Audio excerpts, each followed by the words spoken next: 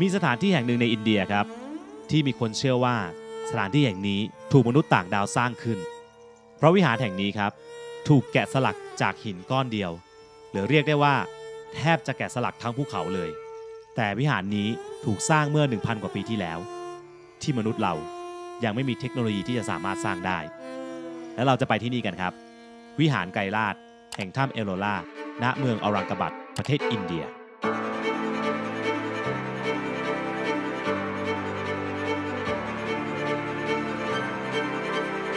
คนสมัยก่อนเป็นคนสร้างเอาไว้นะฮะ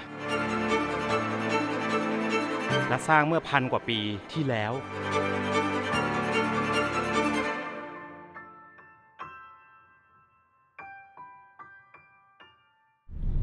สวัสดีครับทุกท่านนะตอนนี้เราอยู่ที่ประเทศอินเดียนะครับ ก็ตอนเนี้ยเช่ารถนะเหมารถมา เรากำลังจะไปที่อลอร่าเคฟนะครับ เราจะไปนี่ก็ตอนนี้นะ หนึ่งในวิหารสำคัญนั่นคือวิหารไกรลาดนะครับคือจริงๆที่นี่ที่ผมสนใจมากผมเคยเห็นรูปเนาะแล้วก็เคยนั่งอ่านข้อมูลเขาบอกว่ามันเป็นวิหารที่แบบถูกสร้างจากหินก้อนเดียว สร้างจากหินก้อนเดียวแกะสลักเป็นปราสาทได้ยังไงแบบภูเขาทั้งลูกอะแถมแถวนั้นก็ยังมีแบบโบราณสถานของศาสนาอื่นอีกเพียบนะฮะซึ่งเดี๋ยวเราจะไปที่นี่กันจากเมืองเออรังกาบัตเนี่ยประมาณ 1 ชั่วโมงนะไป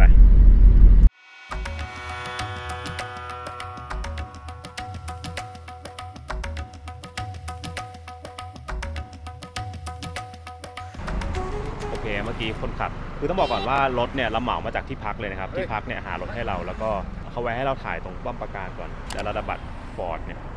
เห็นเป็นภูเขานะสวยมากเลยสมัยก่อนเนี่ยเขาชอบสร้างป้อมปราการบนภูเขานะฮะก็เป็นเรื่องของการเนี่ยแหละป้องกันข้าศึกนู่นนั่นนี่ ซึ่งเดี๋ยวเรามีไปที่นี่ครับอยู่ในอีก EP หนึ่งนะฮะ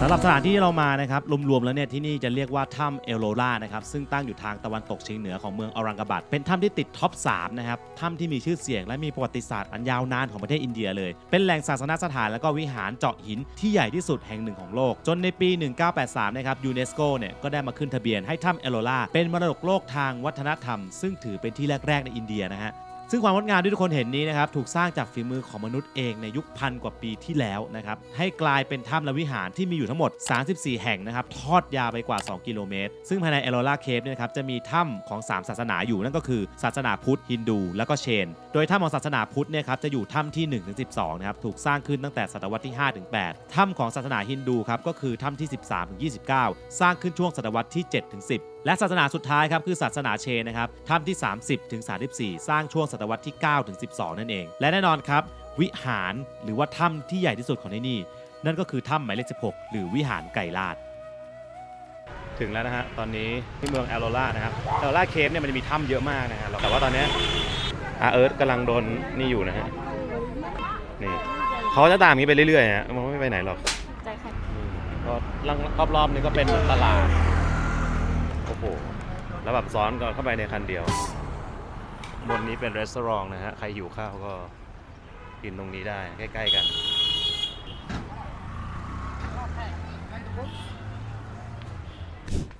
ที่นี่นะฮะ ค่าเข้าราคา 35 รูปีต่อคนนะ ผมซื้อผ่านทางเว็บไซต์มาเลยนะ คือจริง ๆ ต้องบอกว่าที่มันถูกเนี่ย เพราะว่าเราเป็นคนไทยนะฮะ ในอินเดียเนี่ย มันจะมีความร่วมมือที่เรียกว่า เรียกว่า สำหรับตั๋วเข้าถ้ำเอลโลรานะครับต้องบอกก่อนว่าคนไทยเราเนี่ยจะได้ตั๋วถูกกว่าหลาย ๆ ชาตินะฮะสาเหตุที่ได้ตั๋วถูกครับเพราะว่าเราอยู่ในกลุ่ม BIMTech นะฮะซึ่งก็คือ Bay of Bengal Initiative for Multi Sectoral Technical and Economic Cooperation เป็นการรวมตัวกันระหว่าง 7 ประเทศในภูมิภาคอ่าวเบงกอลนะครับนั่นคือบังกลาเทศ ภูตาน อินเดีย เมียนมา เนปาลศรีลังกา แล้วก็ไทย เพื่อเป็นการส่งเสริมการร่วมมือทางวิชาการและเศรษฐกิจครับ โดยราคาตั๋วปกติต่างชาติเนี่ยครับที่ไม่ได้อยู่ใน BIMTech เนี่ยนะครับจะอยู่ที่ 550 รูปีครับ แต่คนไทยเราจ่ายแค่เพียง 35 รูปีเองนะครับ หรือประมาณ 15 บาทครับ ซึ่งสามารถจองตั๋วในเว็บไซต์ของทางการเขาก็จะกดเลือกได้เลยนะแบบนี้นะฮะก็ถือว่าถูกมากครับคือมันจะมีแค่ไม่กี่ประเทศนะที่ได้ได้ราคาได้ราคาถูกกว่า คือได้ราคาคนอินเดียแต่ถ้าเป็นแบบชาวต่างชาติเลยเนี่ย ราคาขึ้นเป็นหลักร้อยรูปีนะฮะไม่ได้แบบไม่ได้ 35 อย่างนี้นะ ก่อนจะไปเห็นของจริงฮะเราไปฟังข้อมูลคร่าวๆของที่นี่กันก่อนดีกว่าฮะ ก่อนจะไปเข้าข้อมูลที่เท็จจริงนะครับ ผมอยากจะเล่าที่มาที่ไปก่อนว่าทำไมเนี่ยเราถึงได้อยากมาที่นี่ครับ คือจริงๆแล้วนะครับ ต้องบอกว่าความน่ามหัศจรรย์ของวิหารนี้นะครับเขาล่ำลือกันว่าวิหารนี้เนี่ยเป็นหนึ่งในวิหารที่มนุษย์ไม่น่าจะสามารถสร้างขึ้นได้ และคนที่สร้างนะครับน่าจะเป็นมนุษย์ต่างดาว ซึ่งจริงแล้วเนี่ยเขาก็มีเหตุผลมาสนับสนุนมากมายเลยนะครับมีทฤษฎีต่างๆที่ให้เหตุผลว่าทำไมมนุษย์ในสมัยนั้นเนี่ยถึงสร้างไม่ได้ยกตัวอย่างเช่น วิหารไกรลาดเนี่ยนะครับ ถูกสร้างจากการแกะสลักหินหนึ่งก้อน จนกลายมาเป็นวิหารแบบนี้ครับ ซึ่งเขาคาดการณ์ว่านะครับหินจำนวนเหล่านั้นเนี่ยมีน้ำหนักรวมถึง 4 0 0แสนตัน โดยใช้วิธีการแกะสลักนะครับจากด้านบนลงด้านล่าง จนได้วิหารที่มีความสูง 18.29 เมตรกว่ากว้าง 60.69 เมตรนะฮะนักโบราณคดีคำนวณนะครับว่าต้องใช้เวลาในการสร้างถึง 200 ปีนะครับแต่ข้อมูลหลาย ๆ แหล่งครับบอกเลยนะครับว่าวิหารนี้จริง ๆ แล้ว สร้างแค่ 18 ปีเท่านั้น นั่นทำให้นะครับหากเราคำนวณทางคณิตศาสตร์แล้วเนี่ยใน 1 วันเนี่ยนะครับจะต้องทำงานกันประมาณ 12 ชั่วโมงนะฮะแปลว่าต้องมีคนขนหินออกไปนะครับจำนวนชั่วโมงละ 5 ตันเป็นเวลาต่อเนื่อง 18 ปี ซึ่งเขาบอกว่าต่อให้ใช้เทคโนโลยีในปัจจุบันนี้นะครับก็ยังยากมากเลยนะฮะแล้วคิดดูครับว่าคนเมื่อพันกว่าปีที่แล้วเนี่ยสามารถทำได้ยังไง นั่นแค่ประเด็นเดียวนะยังมีคำถามมาอีกนะครับว่า แล้วไอหิน 4 0 0แสนกว่าตันเนี่ยปัจจุบันนี้มันหายไปไหน เพราะนักโบราณคดีนะครับเขาได้ทำการศึกษาและค้นคว้าว่าไอหินที่ถูกแกะสลักเสร็จเนี่ยจะต้องถูกนำไปทิ้งสักที่แห่งหนึ่ง แต่ปรากฏว่าเมื่อทำการค้นหาในรัศมีร้อยกว่ากิโลเมตรแล้วเนี่ยนะครับกลับไม่พบหินที่มีลักษณะตรงกับวิหารนี้เลยแต่อย่างใดครับเขาเลยไปนึกถึงตำนานเรื่องเล่าต่างๆนะครับว่าอย่างพระพรหมเนี่ยนะครับก็มีเครื่องมืออย่างหนึ่งที่สามารถจะทำให้หินเหล่านี้หายไปได้เลย ก็เลยมีคนนำไปเปรียบเทียบครับว่าเรื่องเล่าเหล่านั้นเนี่ยอาจจะหมายถึงมนุษย์ต่างดาวก็ได้ครับเป็นมนุษย์ต่างดาวที่มีเทคโนโลโลยีในการที่ทำให้หินเหล่านี้หายไปครับ และแกะสลักวิหารนี้ขึ้นมา โอ้โหถึงแล้วนะฮะ ยิ่งใหญ่มากอะ่ะ คือแบบโคตรอลังการอะนี่อะ อินเดียนาโจนของแท้ ที่ทุกคนเห็นอยู่ตอนนี้นะครับ ถูกสร้างเมื่อ 1,000 กว่าปีที่แล้วนะฮะผมอยากให้ทุกคนเห็นนะ เห็นไหมครับว่าเป็นรอยตัดภูเขาอะคือเขาตัดภูเขาออกมาเป็นร่อง แล้วก็ทำเจาะลึกเข้าไปในตัวปราสาทเนี่ย เกิดจากหินก้อนเดียวนะฮะสร้าง เรามาฟังข้อเท็จจริงของวิหารไกรลาดกันบ้างดีกว่านะครับ วิหารไกรลาดเนี่ยก็คือถ้ำหมายเลข 16 นะ เป็นวิหารที่โดดเด่นและมีชื่อเสียงที่สุดในหมู่ถ้ำของศาสนาฮินดู ที่นี่นะครับถูกสร้างเพื่อเป็นที่ประทับให้กับพระศิวะ ซึ่งเป็นเทพเจ้าแห่งการทำลายล้างตามความเชื่อของฮินดูนะครับ สถาปัตยกรรมของที่นี่นะครับก็จะเป็นแบบทราวิดหรือว่าดราวิเดียนนะตามแบบฉบับของวัดฮินดู จะมีลักษณะเด่นเลยก็คือรูปทรงของซุ้มทางเข้าโบสถ์ที่จะมีลักษณะเหมือนหอคอยที่เรียกว่าโคปุรัมหรือว่าโคปุระภายในวิหารไกรลาดเนี่ยนะครับโดยรอบเนี่ยจะมีการแกะสลักเรื่องราวตามความเชื่อของฮินดููอย่างละเอียดเลยนะ เต็มไปหมดวิหารไกรลานะครับ เป็นถ้ำที่มีขนาดใหญ่ที่สุดในเอลโลลาเคฟนะครับเพราะเป็นการแกะสลักจากหินก้อนเดียวที่ใหญ่ที่สุดในโลก หรือเรียกง่ายๆนะครับคือการแกะสลักจากภูเขาหินทั้งลูกนั่นแหละซึ่งสร้างตั้งแต่ช่วงศตวรรษที่ 8และแน่นอนนะครับว่าถ้ำแห่งนี้ครับก็มีเรื่องเล่ามากมายว่ามนุษย์สร้างได้ยังไงตั้งแต่สมัยนู้นสมัยนี้นะฮะก็เหมือนที่เราเกรินไปตอนแรกนะครับ แต่แน่นอนครับพอเข้ามาในที่ของจริงผมต้องบอกเลยนะว่า มันยิ่งใหญ่อลังการมากแล้วก็สวยมากจริงๆครับทุกคน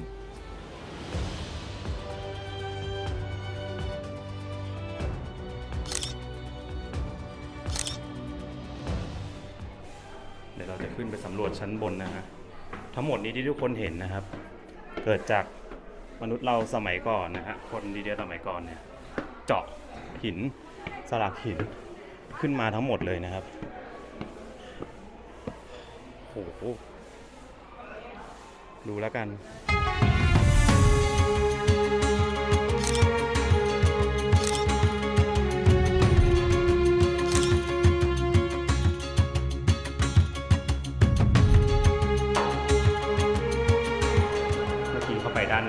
มืดมากนะ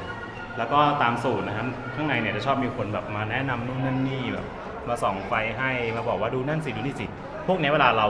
ถ้าเราไม่อยากจ่ายติปเนี่ยก็ไม่ต้องไปสนใจเขา แต่ถ้าเราอยากจะฟังได้ข้อมูลเพิ่มเติมนะครับก็ฟังเสร็จแล้วก็ให้ติปเขาแค่นั้นเองนะคือข้างในมันมืดนะฮะแล้วก็อย่างที่เห็นนะตรงกลางนะมันก็จะมีแบบ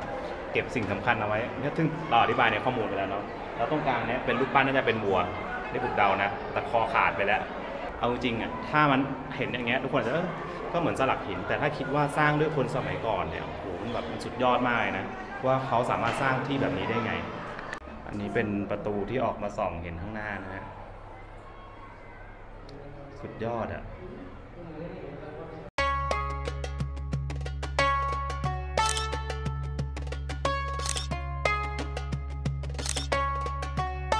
โอเคฮะเดี๋ยวเราจะเดินขึ้นด้านข้างมา วันนี้เด็กเยอะมากนะ เพราะว่ามันเป็น น่าจะเป็นวันเสาร์แหละเขาก็มาทัศนศึกษากัน คือด้านข้างมันจะเป็นทางขึ้นเขา ซึ่งทางขึ้นเขาเนี่ยเราจะได้เห็นวิหารจากด้านบนนะฮะทางขึ้นก็เนี่ยครับเป็นหงเป็นหิน บันไดดีๆ ก็มีนี่หว่า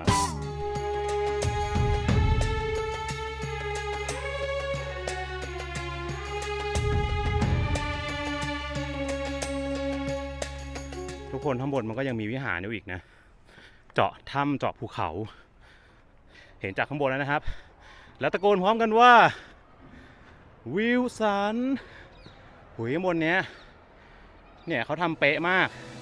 หรือยังมีอีกประเด็นหนึ่งที่น่าสนใจครับเขาบอกว่าถ้ามองจากบนฟ้าครับจะเห็นว่าวิหารนี้เนี่ยมีรูปทรงสี่เหลี่ยมที่สมมาตรมากนะซึ่งเขาบอกว่าในสมัยพันกว่าปีที่แล้วครับมนุษย์เราเองเนี่ยยังไม่มีเทคโนโลยี หรือความสามารถในการคำนวณทางคณิตศาสตร์ให้ออกมาแบบนี้ได้เลย โดยเฉพาะเหลี่ยมมุมต่างๆนะครับจะหันไปตรงกับทิศ 4 ทิศ ซึ่งแน่นอนครับว่าในสมัยนั้นยังไม่มีเข็มทิศเช่นกัน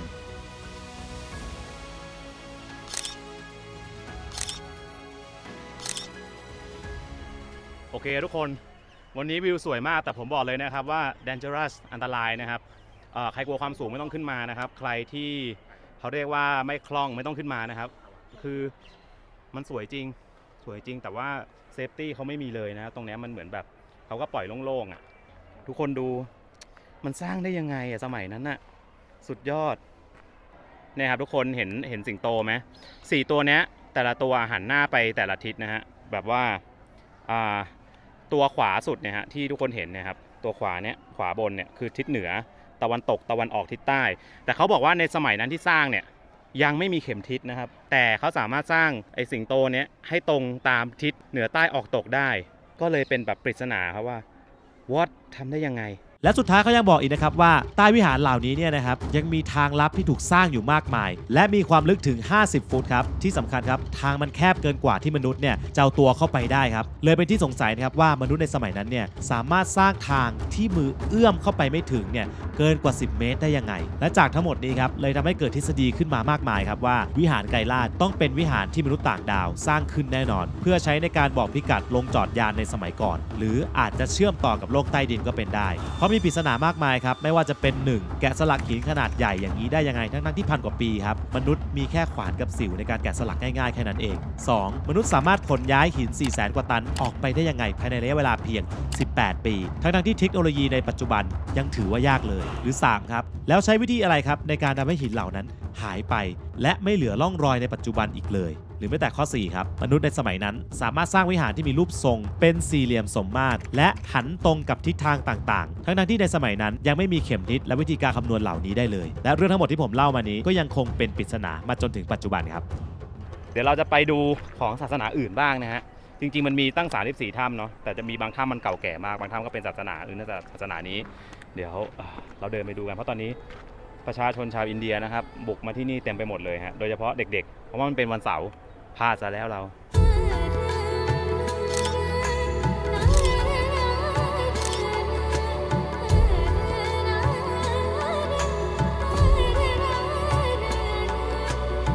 เ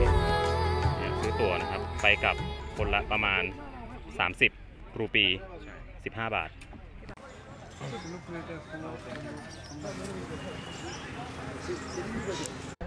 เคครับ เราจะไปเชนเทม p l e นะครับซึ่งหลายคนน่าจะยังไม่เคยเห็นและไม่รู้จักศาสนานี้มาก่อน ไป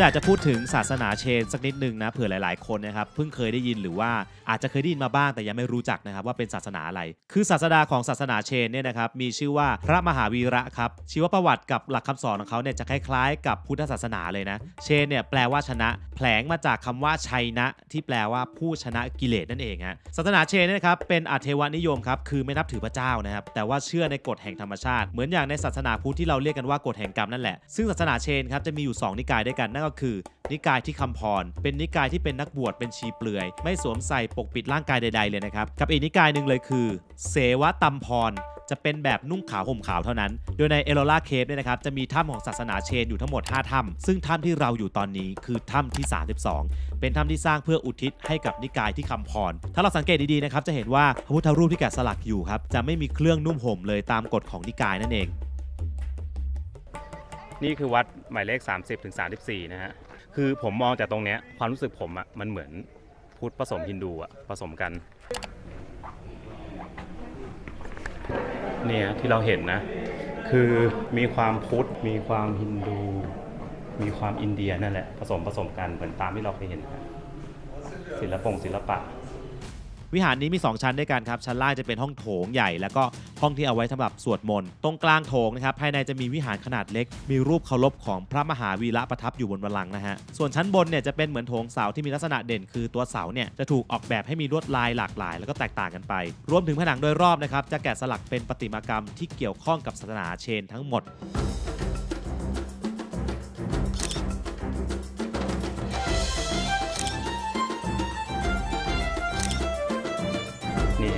นี่เราเมื่อกี้ถามเขาเนาะเขาบอกว่าคนนี้คือเป็นกษัตริย์นะครับกษัตริย์อินเดียชื่ออินดรา King อินดราหรือว่าที่เรารู้จักกันในชื่อของพระอินนะครับ โดยปกติแล้วเนี่ยเราจะรู้จักพระอินในฐานะเทพฮินดู แต่จริงแล้วนะครับมีอยู่ในตำนานของศาสนาพุทธและก็ศาสนาเชนด้วยเหมือนกันนะครับ ซึ่งปฏิมากรรมที่เราเห็นอยู่นี้นะครับตามศาสนาเชนเนี่ยพระอินถือเป็นราชาแห่งเทวโลก หรือเป็นราชาแห่งครึ่งคนครึ่งเทพ ท่านเนี่ยครับมักจะปรากฏตัวพร้อมกับ อินรานีนะครับผู้เป็นภรรยาเพื่อเฉลิมฉลองในโอกาสมงคล รวมถึงได้รับการยกย่องเป็นจีน่านะครับหรือว่าตีรัฐถังกรแห่งเชน ซึ่งตีรัฐถังกรเนี่ยนะครับมีความหมายว่าผู้ช่วยให้หลุดพ้นจากการเวียนว่ายตายเกิดนั่นเองเมื่อกี้มีคนอินเดียอยู่ข้างในใช่ไหมเขาก็เหมือนแบบคอยบอกนู่นบอกนี่อะไรส่องไฟให้ คือตามหลักแล้วเนี่ยเราไปตามที่อย่างเงี้ยในอินเดียจะจบด้วยการขอทิป แต่คนนี้ไม่ขอนะฮะแปลกมากเขาบอกเขาไม่ใช่ไกด์แต่ก็สุดท้ายให้ทิปเขาแหละ แต่เขาก็ให้เขาก็เอาอะ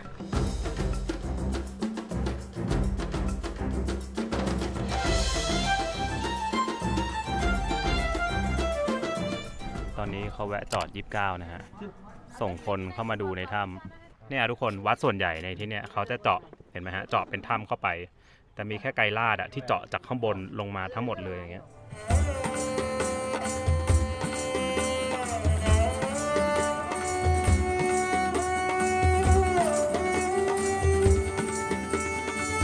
เดี๋ยวตรงนี้ครับเราจะเดินไป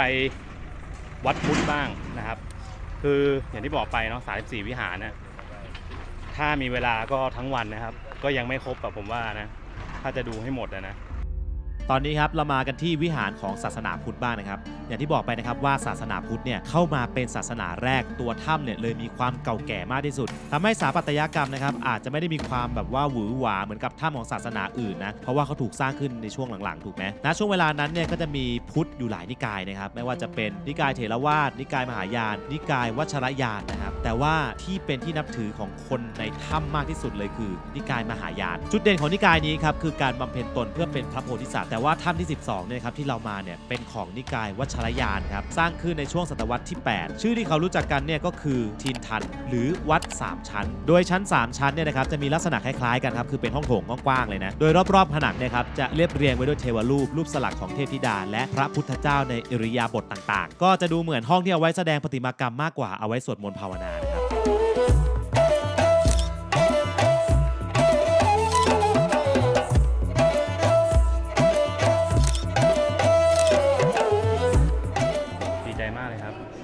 ระจากประเทศไทยมาเที่ยวที่นี่ด้วยนะฮะโอ้ผมสบายใจแล้วอย่างที่เล่าให้ฟังอะทุกคนที่เนี่ยอาจหนึ่งในเก่าแก่ที่สุดของที่นี่แล้ว สังเกตได้ว่าเขาเจาะหินทั้งภูเขาอะขึ้นมาก็จริง แต่ว่ามันจะไม่ค่อยมี detail นะคือ detail มันค่อนข้างน้อยถ้าเทียบกับอื่น หรือมันอาจจะลบเลือนไปบ้างแล้วนะฮะแต่ว่ามันจะ detail ไม่เท่าละเอียดเท่าพวกหลังๆ แต่เข้าใจได้นะถ้าเกิดว่าสร้างมาตั้งแต่สสมัยแรก ๆนู่นเลยเนี่ยมันอาจจะยังไม่ได้แบบละเอียดเท่ากับ ช่วงยุคถัดมาอะไรเงี้ย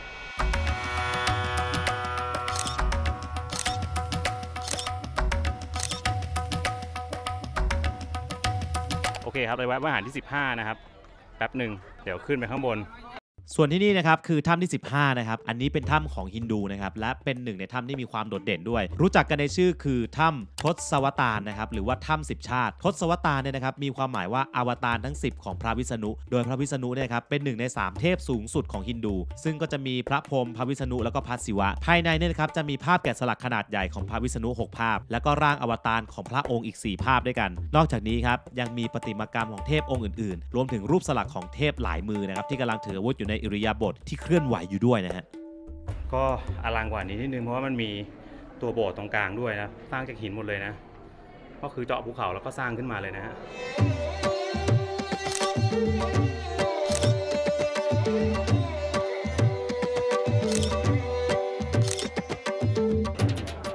วิหารโบราณยังไม่วายจะโดนขีดเขียนนะ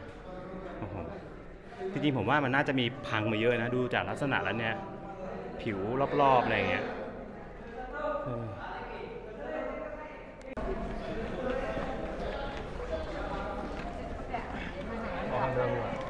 โอเคครับ จบเรียบร้อยแล้วนะครับ ถ้าใครมีโอกาสมาเที่ยวนะ ผมแนะนำให้มาดูนะฮะ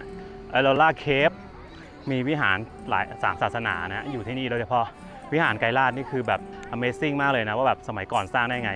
เนี่ยนะครับคือเหตุผลที่ทำให้เกิดทฤษฎีสมคบคิดขึ้นว่าทำไมเขาถึงบอกว่าใช้เทคโนโลยีต่างดาวมนุษย์ต่างดาวเป็นคนสร้างขึ้นมา แล้วทุกคนนะครับคิดว่ายังไง มันเกิดจากสมัยนั้นมนุษย์สร้างหรือว่ามีเทคโนโลยีจากต่างดาวมาสร้างจริงๆ ถ้าชอบวิดีโอนี้อย่าลืมกดไลค์แชร์ Subscribe ด้วยนะฮะ ไปแล้วนะครับ